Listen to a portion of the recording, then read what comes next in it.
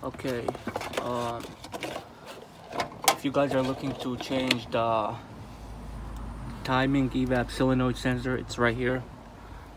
It's this one right here. It's only one bolt, 10 millimeter, and this is how it looks like. Pretty simple.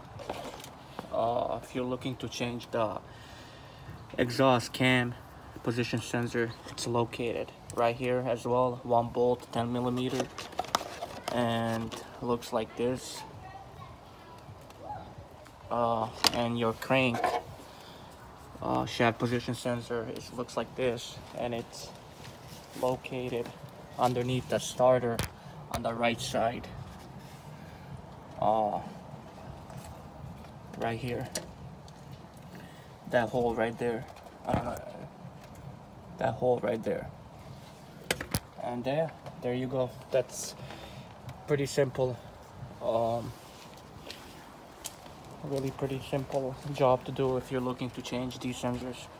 Uh, this is a timing solenoid. This is a uh, cam exhaust position sensor and this is a crankshaft position sensor. And that's the locations where they're located